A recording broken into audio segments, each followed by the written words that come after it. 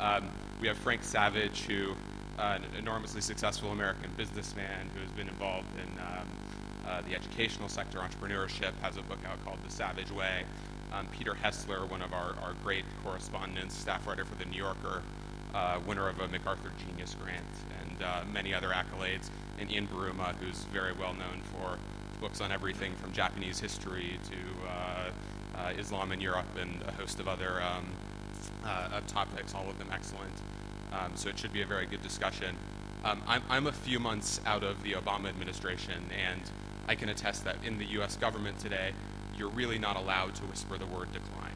It's one of the few things that gets you fired from a government job. So it's not the sort of thing we talk about, but when it does come up, you know, sort of whispered late at night, uh, we fall back on one kind of comforting thought, which is, you know, we've worried about decline before in the U.S. We've been through this before. We worried about the Soviet Union passing us. We worried about Japan in the 1980s. And every time, this fear of decline has forced us to get our act together, and we've come out on top once again. So, Ed, let's start with what may be one of the um, more, more distressing uh, arguments in this book, which is that that has been true in the past, but this time really will be different. You don't think we have uh, the same capacity to snap out of it this time. Why?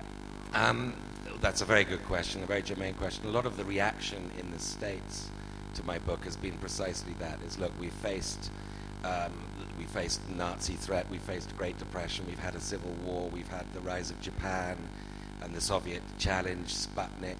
All of these we've overcome. Um, what is it about today's situation that, that, that makes us less American and less pragmatic? And my answer to that is Pearl Harbor, Sputnik, even Japan's rise were all unifying events. They produced bipartisan responses. Um, and you need bipartisanship, as you know, with America's separation of powers in order to have any effective action um, at the federal level. Um, in contrast, the problems we're talking about today are much more subtle, are much more slow moving, are much deeper, are much more structural, to do with globalization, to do with technology, and the effect that changing, exponentially changing technology and exponentially integrating globalization is having on the ability of most Americans to earn a living. Um, we're four, three and a half years now into the recovery. It began in June 2009 with each successive year, um, the median income, uh, the median, the middle class income, um, has declined. It's declined now about 8% since mid 2009. This follows on from the uh, 2007, 2002 to 2007 business cycle, the first in America's history, um, where the middle class income was lower at the end of it than it was at the beginning of it. Um, and then, of course, there was a deep recession in between which really hit income. So the net result is we've got a progressively and acceleratingly declining median income, um, uh, a hollowing out of the American middle class, a polarization of the economy that has its analog in a polarization of politics, which is paralyzing the system. It's as far as possible as you can get from the kind of shocks, um, the Sputnik, the Pearl Harbor shocks, that produced unified responses. Uh, Washington remains paralyzed um, in, uh, um, in, dealing with these challenges, and that, that's really the source of my pessimism. It's a governance paralysis um, that America is, is trapped in, and I see little sign of, of it emerging from that. Frank, um, let, us go to you. You, um, Ed writes at one point that the, the American escalator has come to a halt, and you are um, you write in your book about being a product of the once great American meritocracy.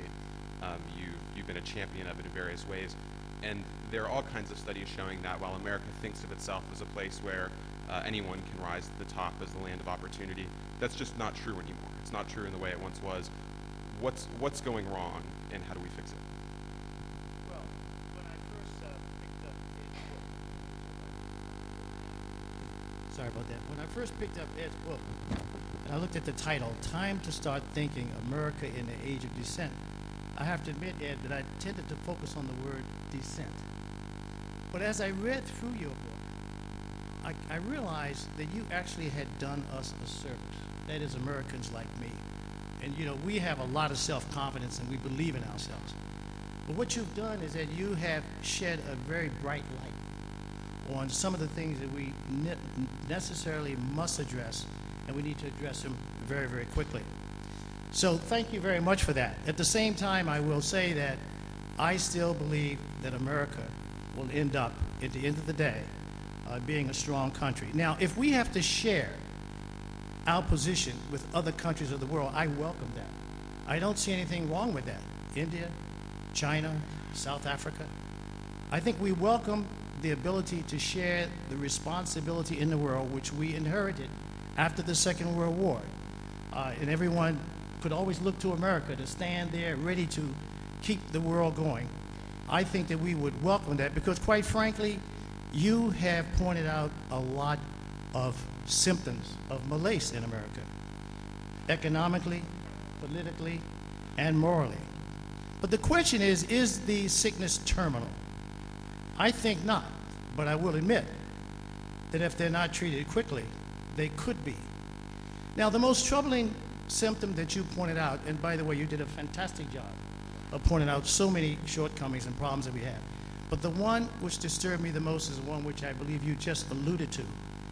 That is the decline of mobility in the United States and the widening gap between the rich and the poor. Now, you say in your book, quote, since the American Republic was born, equality of opportunity has been at the core of the American way. And that's a fact. Presidents like Lincoln, Roosevelt, Lyndon Johnson, they made mobility and building a middle class the core of their administration's policy. Now, Barack Obama, with his reelection, has an opportunity to join the ranks of the great presidents of the United States, make a real quantum change. The question is, is he up to it? The question is, is the governance structure that we have in the United States now broken? Are people so intent on getting their way that compromise is no longer a possibility? Now, in my memoir, The Savage Way, I, I recount how my mother, we called her Madame La Sauvage. She was a very successful businesswoman. She migrated from North Carolina to Washington, D.C. with my twin sister Frances and myself in search of opportunity for us. She never took a penny of money from the government, but without the underpinning of the government infrastructure and the government's job creation ability, she would never have been able to be successful because the clients would not have had money to buy her products. But she had self confidence and she had that underpinning, that infrastructure from the government. Governments have a role of creating an environment that will enable their people to improve themselves.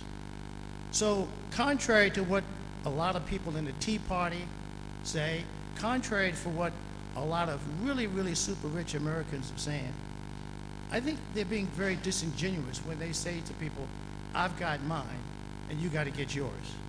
You know, they don't know how much they have benefited from the government. I've been on many, many corporate boards, I've worked at many, many universities, and I can tell you, without government help, we would never have gotten where we are. So I just wanted to say that I think you're right to, you know, pull our coattails and say we need to get our act together. Let's go to a, a kind of counterpoint to the, the role of government. Um, Ian, a, a, lot of people argue that this dysfunction, this stagnation, has caused America to become much less of an open society, to become less welcoming to, to immigrants who have really been the kind of source of our resilience and our strength through these uh, other other bouts of declinism. Um, do you still see America as an open society? Does that give you hope for for renewal? Yeah, I, I think it still is an open society. In some ways, of course, it's true that, the, large sections of the white middle class are relatively doing worse. There's no question about that. But in some ways, the resentment that they feel, uh, that fueled the Tea Party and that kind of is also a, a sign of, of, successful mobility of others.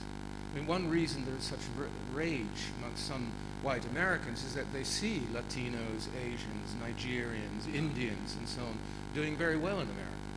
And that traditionally has been the strength of the United States. And it's just that the old white whites who thought that they were in charge and they only they feel that the country is slipping away from them. It doesn't necessarily mean the country is in terminal decline or even real serious decline. What could, uh, in my view, uh, cause serious decline, I think the great danger is if the United States or Americans, too many Americans, give in to another strand uh, in uh, American history, uh, which is to give in to fear of the outside world.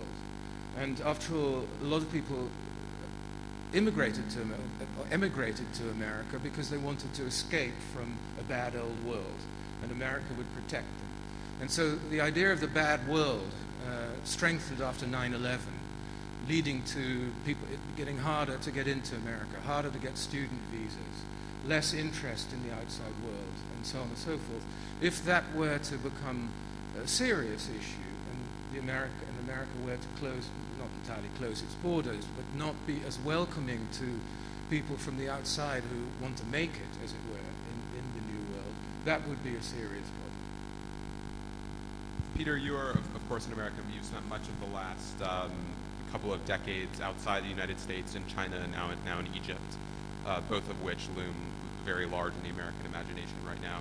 Um, from, from the vantage of these, these, these other countries, how does American decline look? And, and especially, do you think the model is the American model still appealing when you talk to young Chinese, when you talk to young Egyptians? Does America still represent the beacon that that we in the United States think it is and think of as a sort of great strength?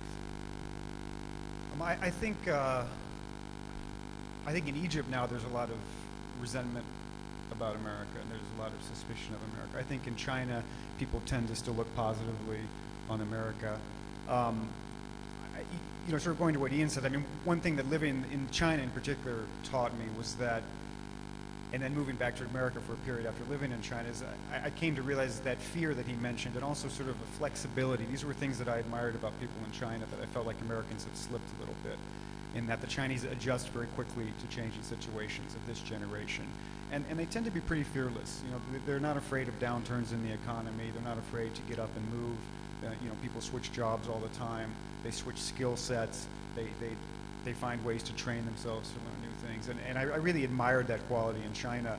And I felt like that's something that Americans, you know, and, and this is natural. I mean, when you've been a pretty prosperous society for a while, it's easy to lose that, you know. And, and, and the Chinese are coming out of a period of, you know, poverty and, and isolation, and, and they're hungry for the opportunity. And, and I think that's one thing that, that I felt like Americans could learn from China. Um, I, I think the Chinese are, you know, most Chinese don't see their country as a finished product. They don't see that as a system that is fully functional.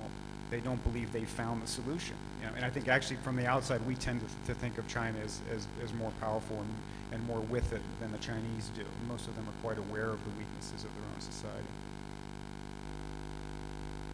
Ed, do you want to respond to um, any of these cases for optimism, especially the, the, the, openness of American society and what that could mean? I'll pick up on a couple of things. Ian, what, what you mentioned is a very good point um, about there is a white element to this fueling the Tea Party and essentially now nowadays in control of the core of the Republican Party.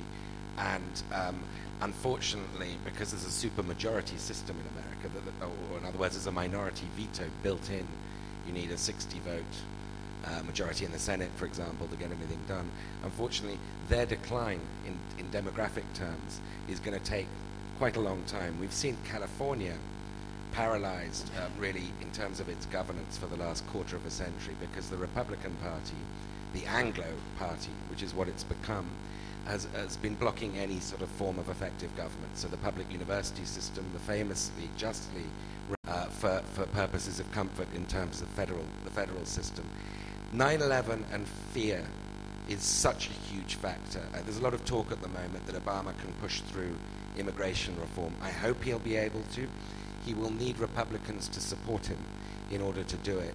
But I, I, my sister-in-law, um, my, my, Indian sister-in-law, lives in Palo Alto, in, in uh, on the west coast, um, in Silicon Valley, and so I and we go and stay with them a lot. And um, I, I, get sort of first-hand accounts of Indian students and Chinese students and other students who, before 9/11, would have got visas, uh, having graduated, and since 9/11, in the famous words of Fareed Zakaria your, your, your immigration officers in America are far more scared of letting the next Mohammed Atta into the country that they're actually blo- blocking the next Bill Gates from coming in.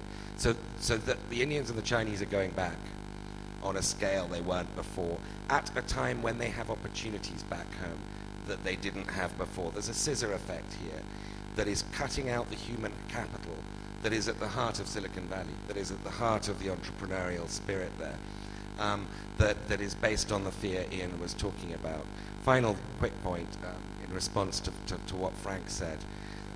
Absolutely right. I think the role of government in lifting up the middle class in the United States um, has been fundamental. The role of government in building the American economy, in building Silicon Valley, in creating the internet, in creating all the kinds of innovations that we take for granted, our private sector in- innovations, were huge, had huge public roles um, um, involved in them. This is the kind of thing that is now um, uh, very, very difficult to push through in Washington, D.C. So we're having declining research and development budgets. We're having um, stasis or paralysis on immigration reform. Um, no, no infrastructure um, uh, spending. America's rapidly descending into a second world infrastructure level. Anybody who um, you know, looks at the power grid or travels through American airports or experiences the slow speed of the internet will, will agree with me on that. All of this requires government to be functioning. If government is not functioning, um, then this isn't going to be rectified. And so I would strongly underline what Frank, what Frank said. The escalator, the, the social mobility escalator, um, has broken down in the United States. Um, and to get it going again, I mean, your chances of moving up a class in America, up an income bracket, are lower now than in any other developed country, including Britain. And Britain's not a good country to be lower than in terms of class immobility. Equality of opportunity is the foundational creed of the United States, and it's doing worse than everybody. That's, that's an alarm signal.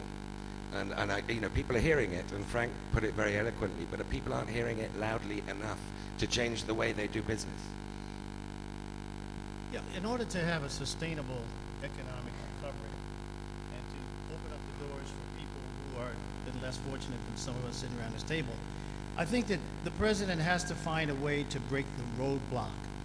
He has to solve the short-term problem of the roadblock in order to be able to address the structural problems that you talked about on research and development, on education, on transportation.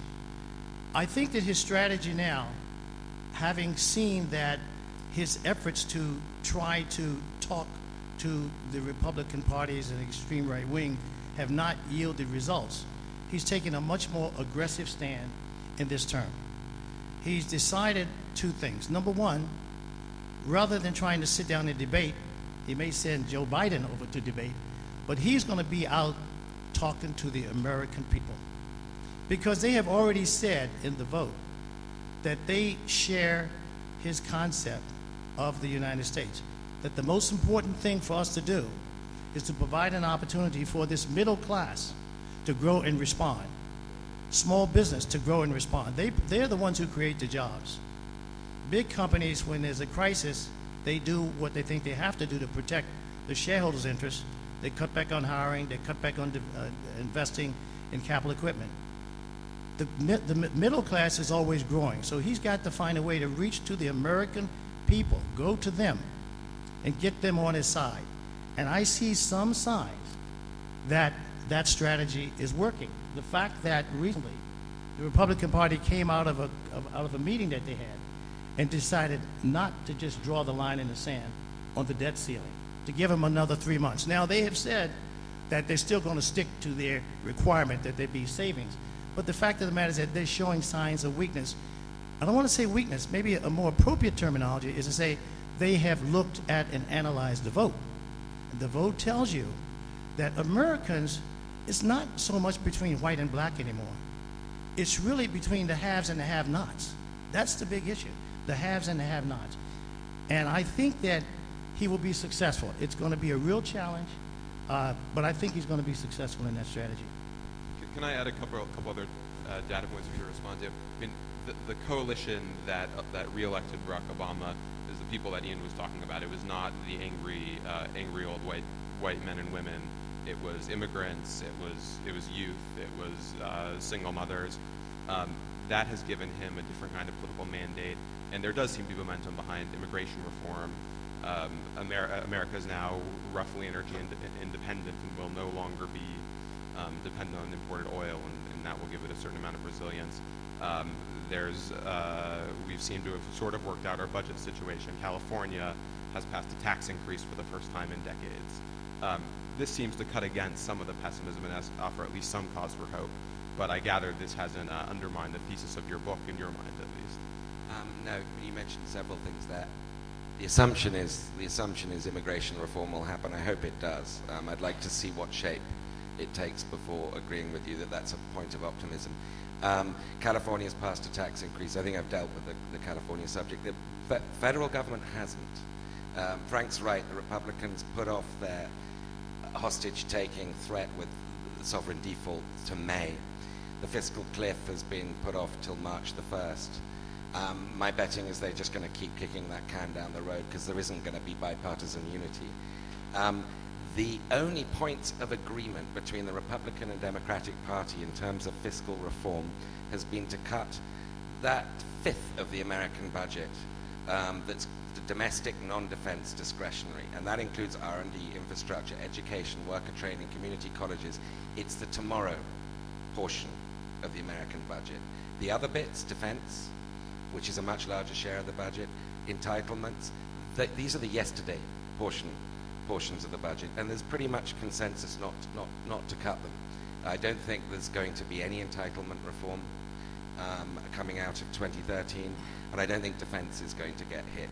What will be hit is the tomorrow portion of the budget. So the fiscal picture in, in, in Washington actually reinforces uh, my pessimism. This is not a pragmatic way of, of, of making policy. Let's um, flip, flip this around for a second and look at this question from, from outside of America rather than um, uh, just through the lens of American policies. Now, one of the things that's that's in some ways most um, most difficult about your book from an American perspective is that you really do seem to have sympathy for the American project.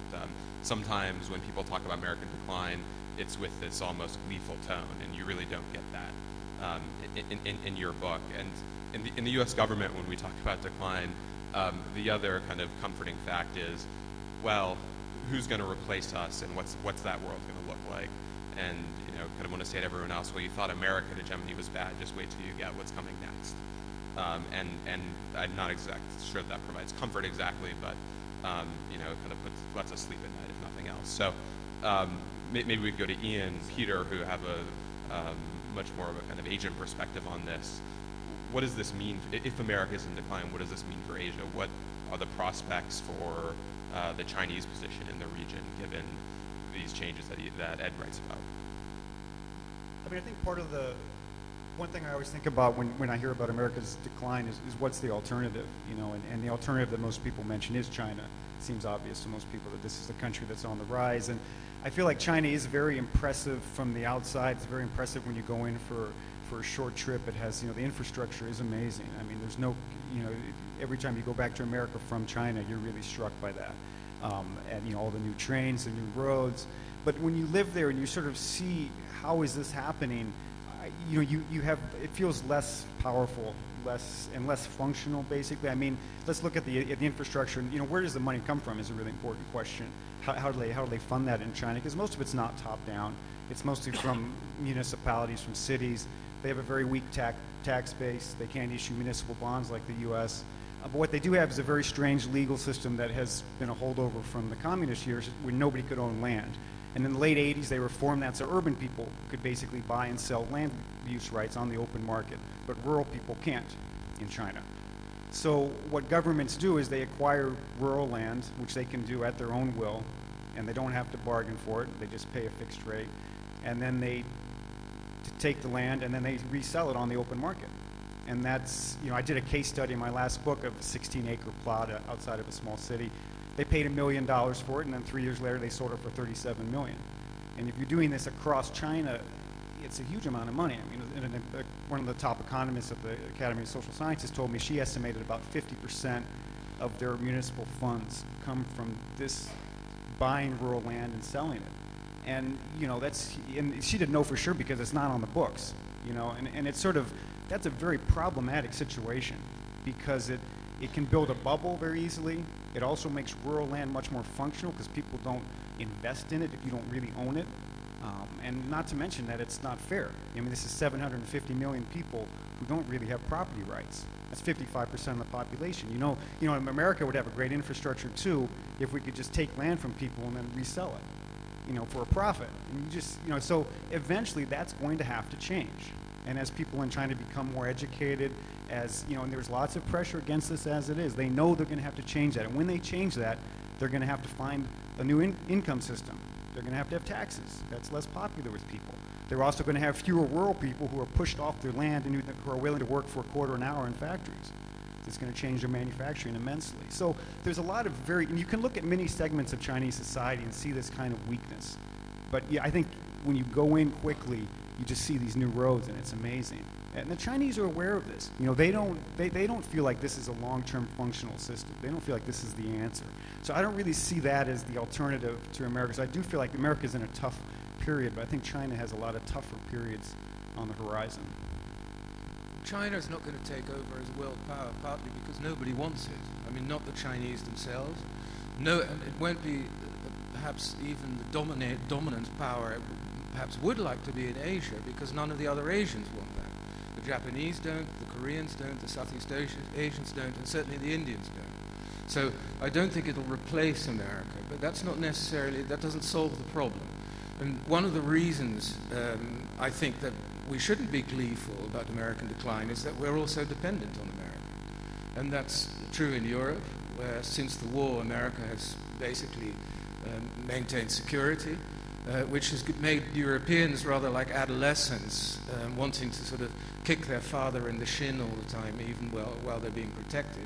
In East Asia, everybody wants the United States to remain the policeman because the alternative is that the Japanese would do it, which the Chinese don't want, or the Chinese would do it, which the Japanese don't want. But it's not really, this dependency is not really good in the long term either for us in the rest of the world or the US because it's too expensive for the US. The will, the political will in the US to, do, to continue to do this will decline. At the same time, it means that in one area, at least, even as airports and so on crumble, the US really is vastly superior to the rest of the world, and that's in military might, with which you can't really do very much. But what you can do is what the British tended to do in, in the beginning of the 20th century when they too began to decline in relation to, say, Germany and, and the United States, is to use their military might to sort of blunder around the world, uh, partly as a distraction from domestic problems, and partly under the illusion that they could somehow shape the world constantly to suit themselves. And we've seen in recent history where that leads. Uh, um, China at the beginning of this century, 12, just 12 short years ago, the United States had about a third of world GDP, just under a third um, by IMF measures. It's now just above a fifth. Um, now, the growth of others, the rise of others in economics is a good thing. Economics is not a zero sum game. More Chinese becoming literate, more Indians becoming literate, expands markets, mutual opportunities geopolitics is a zero sum game. And I fully agree with everybody's sentiment here. China is not the coming replacement for America. Um, there is no hegemon waiting in the wings. China, America's power has been its ability to build global alliances, not just its military, but its, uh, its support amongst from other countries. China doesn't have a single treaty alliance, and I don't think that's going to change anytime soon. So I don't, I don't share, you know, some people's view, not on this panel, that China is um, I, I, have a, a, more, a more worried um, perspective, which is that nobody's going to replace America, and America is not strong enough to build a system to refurbish the multilateral institutions in order to accommodate a rising and potentially threatening China. Look at Afghanistan. Um, next year, Barack Obama will leave maybe 2,500 troops there if Hamid Karzai agrees. Maybe he'll leave none. The recent talk is none. Um, Afghanistan's got something like a trillion dollars worth of estimated rare earth, rare minerals, lithium, all sorts of extraordinary um, uh, economic potential in its ground. America has been there 12 years. It's the longest war in its history. It's spent hundreds of billions of dollars. It's a country of 15 million people. It's medieval. America is leaving it no better off than when it found it after 12 years. China is poised to scoop up a lot of these mineral concessions. Now, America's ability to impose its will um, is very, very diminished. Um, and it's a vacuum that I fear. It's not that China is going to become a stable global hegemon, it's that nobody is. Just, just one thing, just to pick up on Ed's point. Uh, I think that uh, you're right about America's uh, losing the ability to enforce its will, and I would say this, that fewer and fewer Americans want to enforce their will.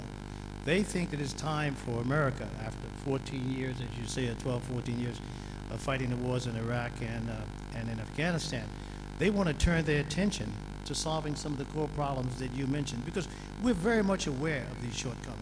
We're very much aware of that. So we have to we have to get out of the I mean I think that if we get out of these wars, what's going to happen is that the balance sheet of the United States is going to begin to change. Right now we have a deficit. We're borrowing heavily uh, because we're spending trillions of dollars on the war and we're trying to also build our country up.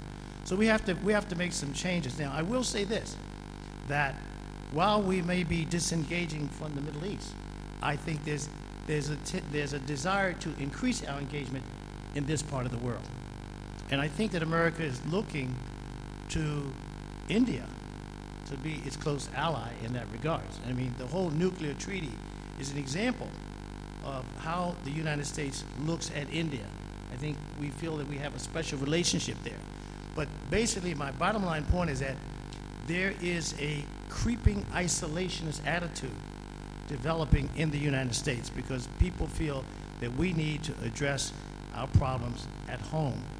And if you watch the president, you can see how he's very reluctant. And whenever there's an action someplace, he wants to bring in the allies. You know, we'll do things like, for example, you know, refuel your planes in the air, or we'll let you uh, use our technology. But in terms of putting people on the ground, there, there is there is a there is a, a, a tendency to, to not do that anymore. For, until we can address our problems, the ones that you point out in your book. I, I would agree. Definitely. I mean, I moved back to after more than a decade in China. Moved back to a small town in America in southwestern Colorado. And when I go, when I would go to a bar or someplace and meet somebody, and and, and I tell them that I had spent the last decade in China, that all, invariably the question was always, "Were you in the military?" Um, you know, which is like I think the image was that there's a massive marine base in the Forbidden City, you know, which is you know definitely not. This, China is not where you go if you're in the military, but that's what the that's the only reason you go overseas. Um, that's a problem, you know, and I, and I think it's I'm very concerned that I mean, of course, I think we have learned a lesson from these wars, but the problem is if the lesson is just stay away, you know, and I think the real another thing you really noticed in China. I mean, I taught English there originally and, and then I became a writer, and there was this incredible interest in the outside world and an incredible drive to learn English, for example. And you see this in India, I see it in Egypt, and it's because people see it as an opportunity. And I think somehow Americans need to, to have this mindset, but it's very hard because they see the outside world more as a threat than as an opportunity. And so after 9 11, there's all this talk we need to learn Arabic, we need to learn Arabic so that people don't attack us. You know, but you don't learn anybody who's taught. You don't learn a language or anything out of fear. You know, you learn it out of self-interest and out of, you know, out of uh, you know something positive. You see it as, and so there aren't many Americans who've learned Arabic. You know, did, dur- during that period because you need, you need a sense that it's going to improve your life somehow. A pity that we all agree with each other because I feel a sort of boredom descending on on the hall. But so perhaps you could come up, try and come up with a point that will cause a quarrel. But I think two other problems from the, the consequences of the fear in 9/11. One is that one of the great things about America when you used to go there is that it was not a country of what the French call petits fonctionnaires, the little officious officials who would boss you around all the time. So the obsession with security has created a society of petits fonctionnaires. Everybody from doormen to air hostesses are now bossing you around uh, and, and, imposing rules and so on uh, because of, of, security, which is, is, a bad thing. The other thing I think is that it has, and again, there's maybe a parallel a little bit with, with British history, is that it's militarized society to a degree that uh, in Europe would be unthinkable. I mean, the, every politician has to constantly refer to our heroes in uniform, bless our boys in uniform. I remember there was a spread in the New York Times Magazine of men and women in uniform, uh, almost like sort of fashion plates. This was, a, this was presented in the New York Times Magazine as something that was cool. And um, I don't think that that's very good for a society uh, either. Do, do, you, do you see um, this isolationism descending a lot, uh, um, upon the American populace, and does that worry you, given what you said about the need for American presence in this region especially?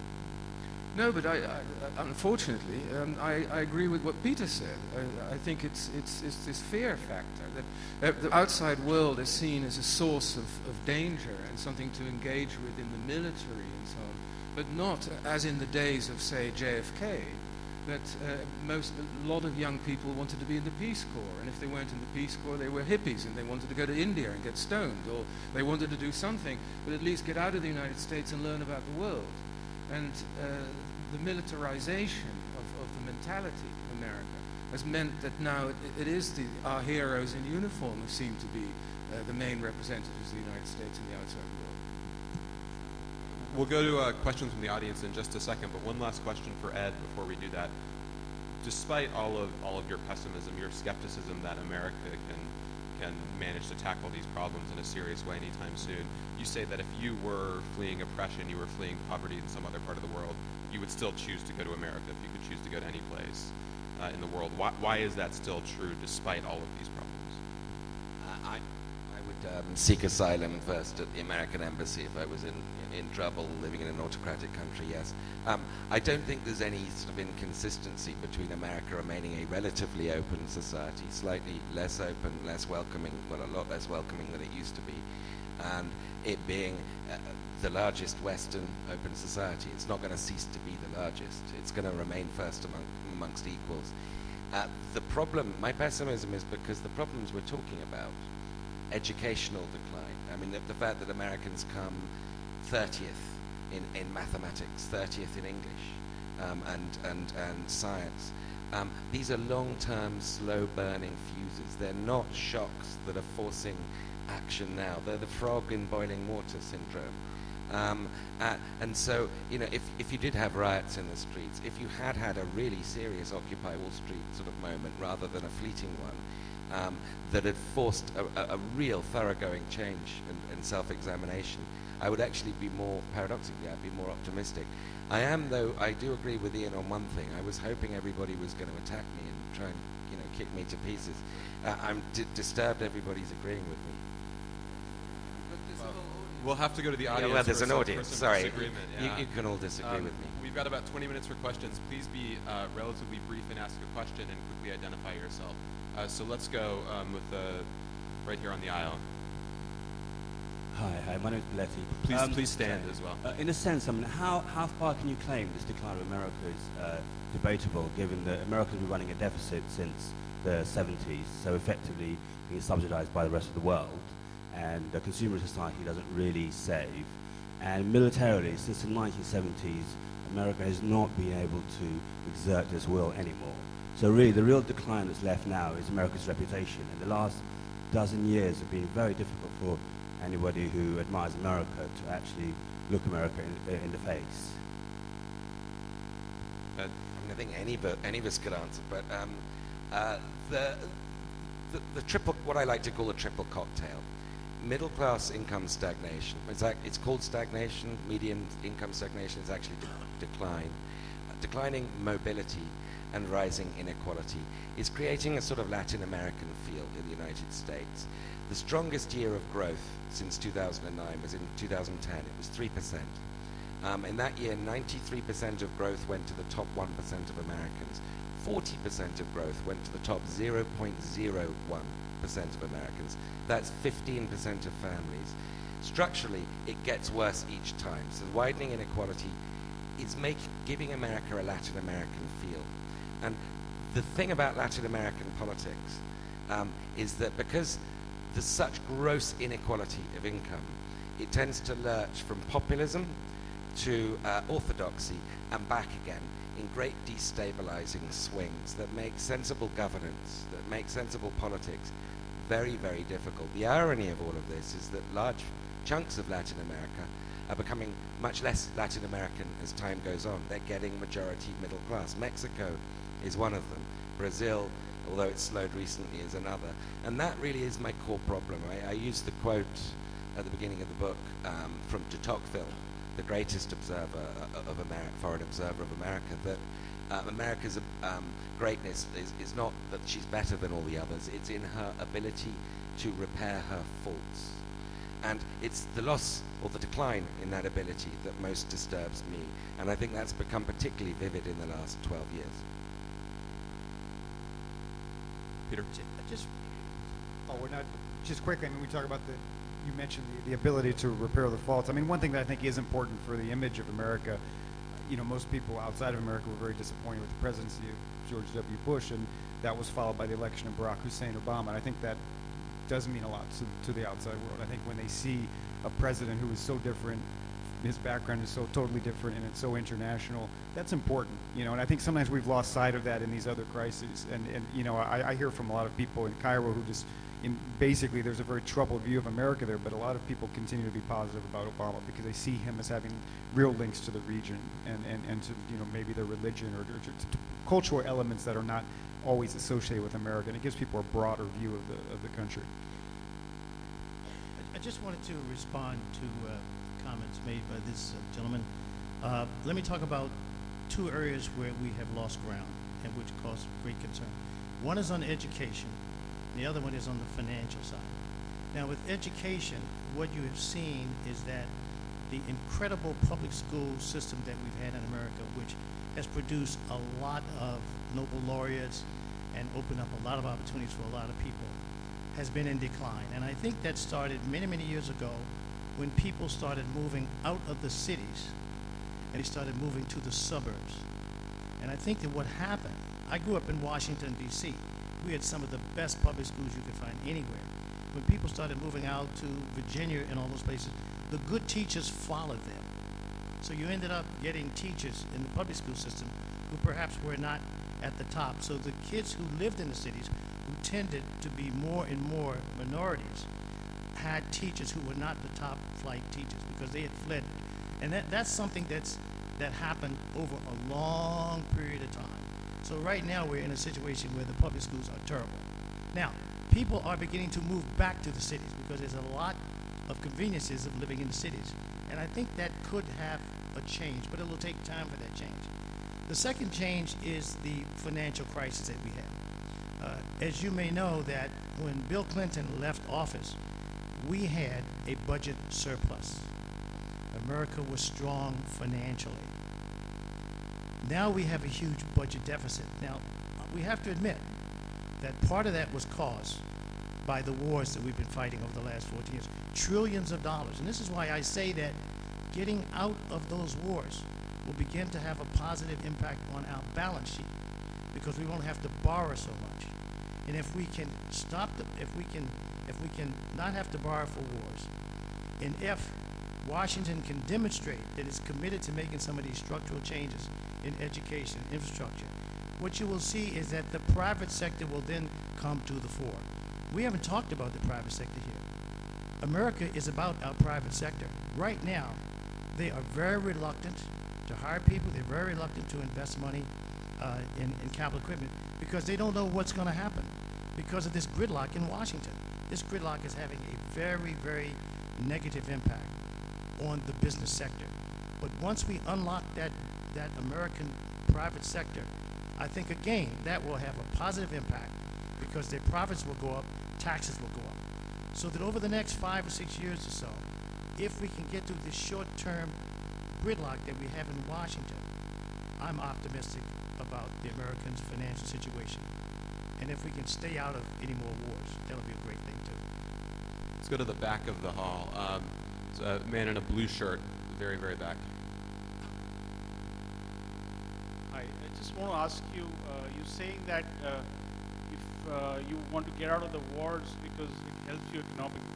Is that the only reason, or would you like to stay in the wars if you're doing well? Absolutely. I, I don't know any.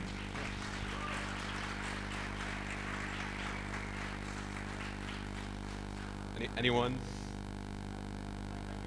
I, I think he's. I think he's looking at me.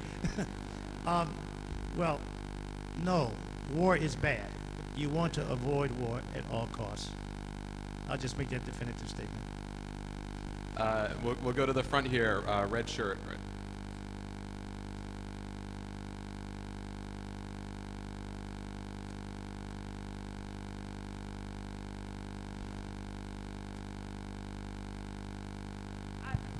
Hello. I had two questions. One was about um, what we've been discussing in terms of fear. And um, with the death of Aaron Swartz, you know, who was one of the most profound, intelligent internet activists to have come out of the US, which is being blamed on the kind of, you know, federal bullying that went on, I think there is also a lot of fear within the US of people who are really trying to work to change the system. And I think there's, and so, you know, comment on that, people um, you know, what we saw with WikiLeaks and the kind of crackdown that came on people after WikiLeaks, it's not just fear of the outside. There are also people within the US who are really trying to work to change the system, and the government hasn't acted very kindly towards them. So, one, could you comment on that?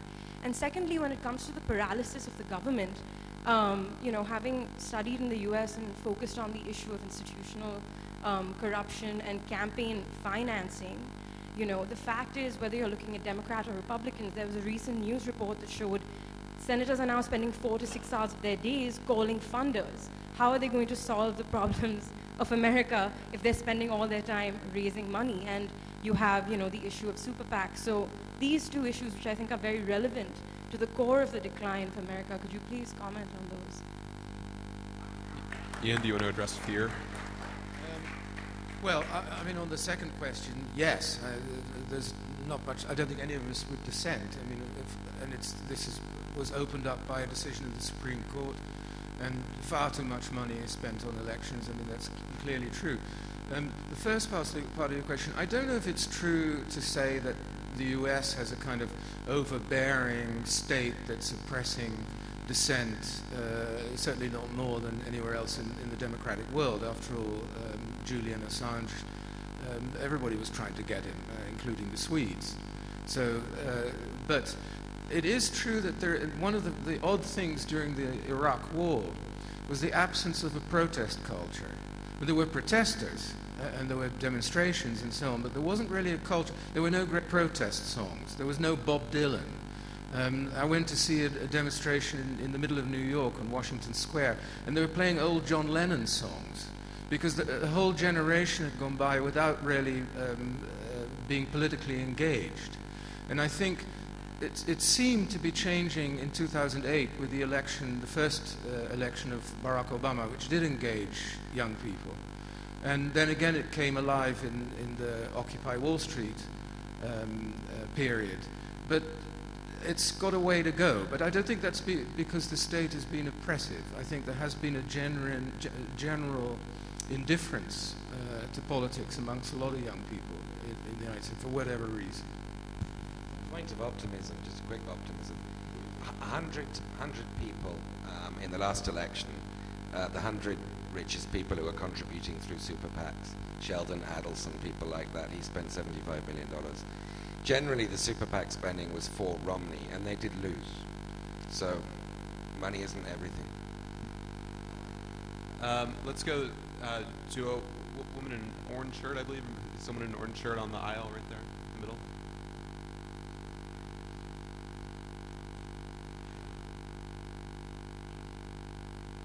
Uh, my name's uh, Ranjan Pal. Um, Ed, a few years ago, when you were here, you wrote a really uh, insightful and interesting book on India as uh, FT bureau chief. And now you've done the same thing in the US. I guess the only thing you missed is the cricket.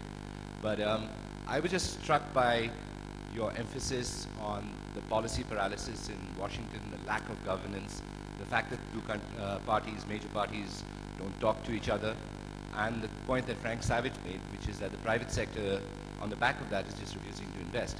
That is a complete parallel to what's happening here in India.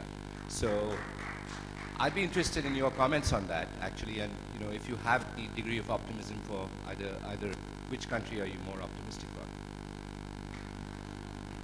about? I, I, I can pledge one thing. When I ne- write my next book, it's not going to be about whether a country is going up or down. although, Maldives, sort of sideways, might be might be a, a nice year or two of my. Um, that's a very good question. There are a lot of parallels in terms of um, the, uh, the, the, governance question being at the core of the future of India. That's the sort of big question mark everybody has about India, and it's the big question mark everybody has about the United States. Again, to sort of find myself in the odd position of being the optimist. Um, there's, uh, if anybody hasn't seen it, there's this brilliant drama, um, uh, American drama called Boardwalk Empire, which is about New Jersey, run by the Irish mafia as a sort of criminalized arm of politics. Uh, I mean, uh, politics being an arm of the criminal world. And then New York, uh, under the mafia there, and Chicago, a, a, young Al Capone.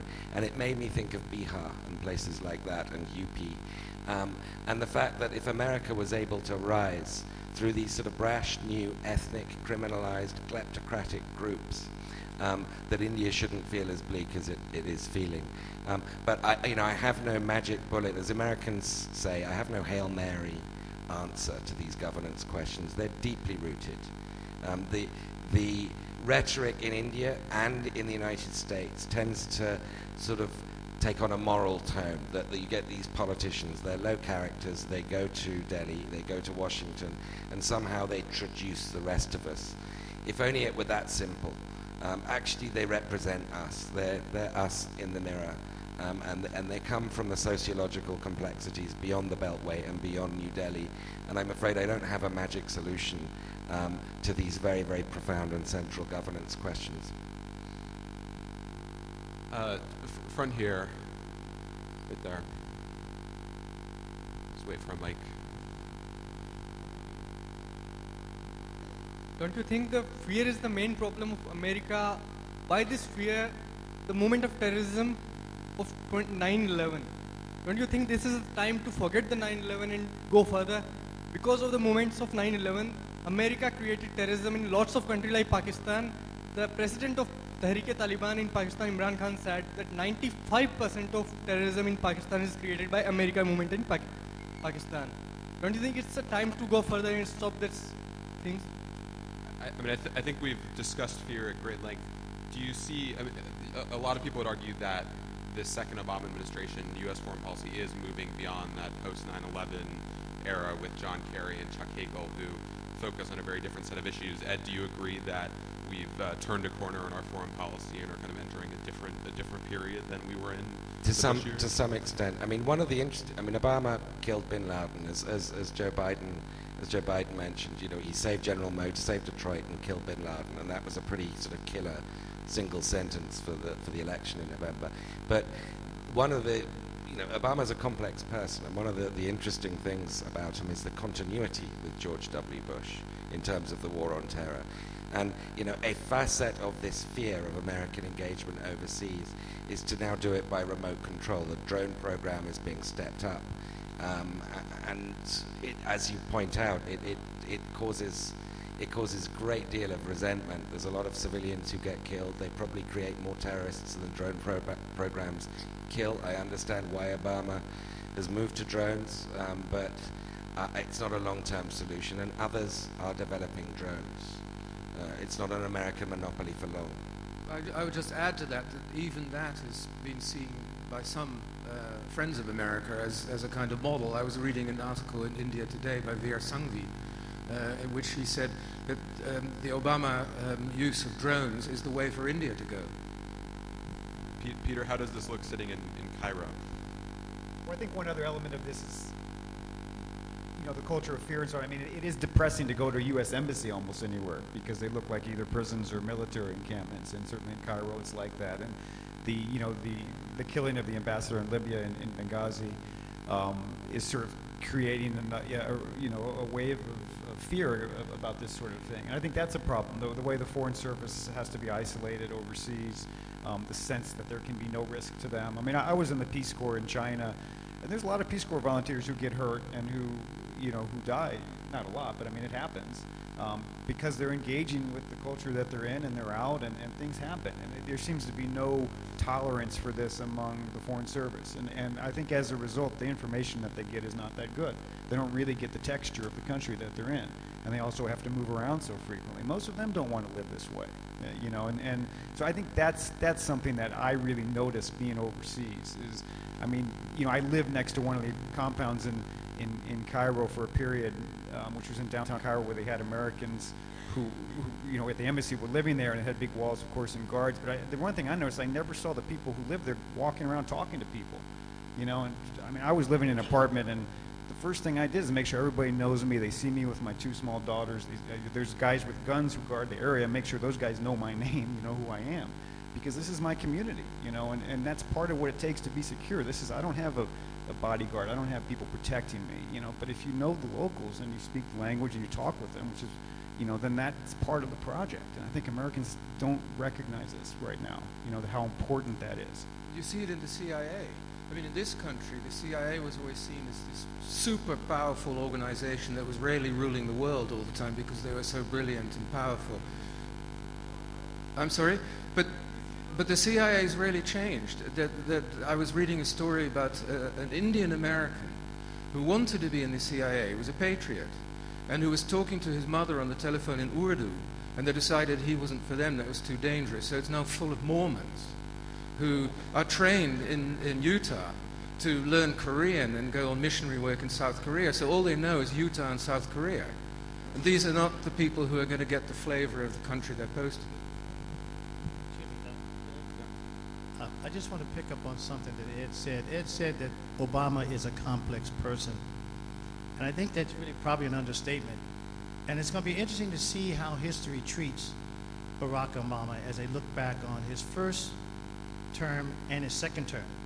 In the first term, I think that Barack, in a way, was trying to prove something to people who thought that he shouldn't be in the office so that why did he continue to support the wars? I think he felt that he dare not stop that movement because it would be such an uproar about it. Uh, and I think that there were several other things like that where he was basically trying to prove to the American people that he could actually govern the country.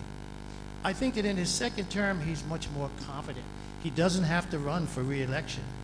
He can really do the things that he really believes in. And at his core, Barack Obama is a person who believes in taking care of people. That's his background. That's what he was doing in Chicago. I mean, that's the kind of man that he is. But he had to show his detractors that he was able to govern and make some of the tough decisions that he had to make. But I'm hoping that in this second term, that he's going to, as I said earlier, he's going to say, okay, we have to be tough now. We have to solve these problems, or else I'll leave and there'll be no legacy for me. I will not have solved some of these deep underlying problems. We've got time for a couple more questions. We'll take two, and then the, the, the, panel can respond. So make them good and very short. And all four of these guys will be signing books afterwards, so you can, um, those of you who have not had a chance to ask questions can, can go ahead and do so afterwards. Let's go with uh, the person on the aisle right there, um, followed by the man in the front. Okay, uh, this is me from Delhi. Ed, my question is to you. Uh, so from what I can gather from what you said, the two-party system in the US is perhaps right now in a gridlock. And we in India, are, a lot of us actually believe that perhaps a two-party system, a magic bullet to what we call a policy paralysis precipitated by a multi-party system in India. So what do you think has gone wrong in the US? Or is the efficacy of a two-party system just a fallacy? And let's take the, the second question right now. My question is, the, uh, do the panel think, does anyone in the panel think that the United States is more ready now, or, or is the Middle East one of the pivotal issues for the foreign policy to evolve? What, what is the role of the, the resurgence of the United States? Yeah. And so that, yeah, the, the, the first question. Um, it, there's something in, in Washington called parliament envy, um, which is envying a majoritarian system, you know, where the legislature and the executive are merged. Um, uh, but you know, I'm from Britain, and uh, Britain, uh, you know, it was supposedly got its decline out the way before I was born. but actually it's got a whole new lease of life um, at the moment, and that is with a parliamentary decisive executive system. If you look at Britain and America in the last four years and their responses to the Great Recession, um, America has grown, not very much, it's been very anemic. Britain's economy is the same size today as it was in 2006. So what I say to my American friends is, with their, with, their, I was about to say penis envy, their parliament envy, is be careful what you wish for. Um, it, it, the grass is always greener on the other side. I don't know whether others want to ask the Middle answer the Middle East question, but just one very quick point is the pivot to Asia that Obama has um, embarked upon um, is very much contingent on the Middle East not interrupting it, and a war with Iran um, would destroy all other diplomatic strategies that are underway. So I think that's the thing to be watching. Uh, we've got to cut off. I'm getting signals from the organizers. So um, please give a round of applause to the panel, and you can uh, press them over book signing.